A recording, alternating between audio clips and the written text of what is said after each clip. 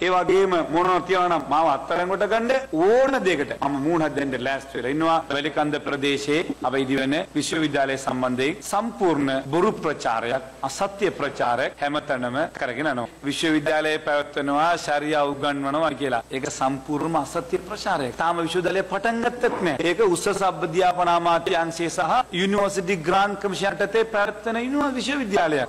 අපි ශරියා උගන්වනවා නම් ශරියා සබ්ජෙක්ට් එක දෙන්න ඕනේ. උගන්නන්න බෑ අපිට. ඒ පස්සේ ඒගොල්ලොන් චෙක් කරනවා. උගන්නන්න පුළුවන්ද කියලා. ඒක අප්‍රූව් කරාම විතර අපිට උගන්වන්න පුළුවන්. අපිට ඕන විදිහට උගන්වන්න බෑ. අපිට ඕන විදිහට ළමයි ගන්නත් බෑ. asianmirror.lk